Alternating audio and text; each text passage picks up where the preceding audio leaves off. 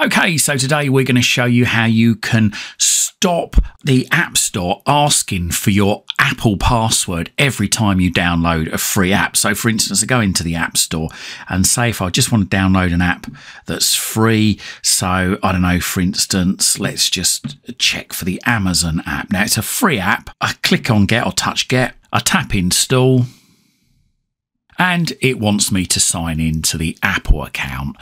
I can understand this might be needed if an app costs money, but for the free apps, do we really need to keep signing into the Apple account? No, probably not. This guide is going to show you how you can turn this off. Don't forget to like this video, share it and subscribe to my channel.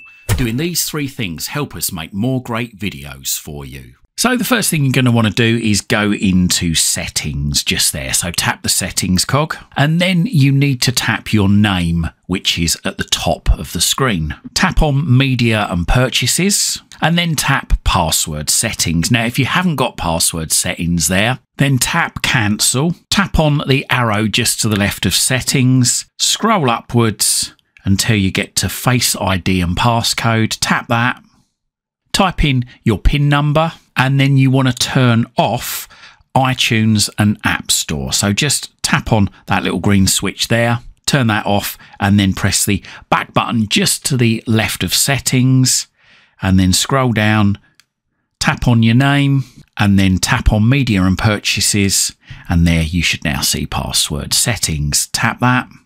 And here, as you can see, under free downloads, it's got require password. Now we want to turn that off. So that means that if I download an app that's free, it will allow me to download it without having to put in my Apple password. So let's just turn that off. Tap done.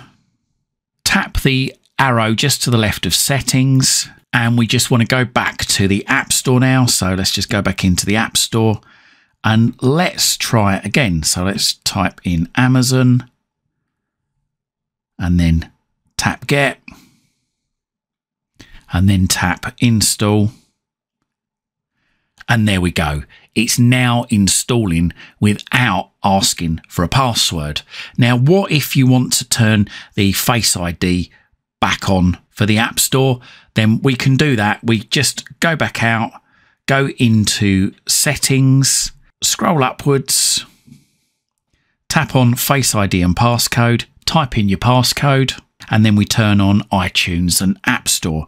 And when we turn that on, it will ask us for our Apple password, only the once though. So type it in, tap on OK, and then tap the back button just up there. Come out of this, and there. We can now download apps that are free without having to continually keep putting in our Apple password. But please make sure that you've got a note of your Apple password because at some point you might well need it again. I hope you liked this video and if you did, consider hitting that thanks button and making a donation to this channel. Or if you can't do that, then have a look in the description down below. We've got some great links down there for you to various things, including my Amazon shop, which contains all the things I love at the moment on Amazon. Fire TV sticks, Fire TV cubes, and VPNs. Buying, subscribing, and donating really does help support this channel. It helps me to be able to dedicate more time to spend researching to bring you these great videos. And whilst you're at my YouTube channel, why not stick around? I've got thousands of other videos for you right here, right now, covering all sorts of subjects. Hopefully, whilst you're here, you're going to find something to educate you, entertain you, amuse you, and maybe even save you some time and money. And if you do see any videos that you think your friends, your family, or your work colleagues might like to see, then please don't forget to share these videos on your social media timelines. You can check me out on X, I'm at CWTEK. You can also check out my website, it's cwtek.co.uk. Thanks for watching and speak to you again soon.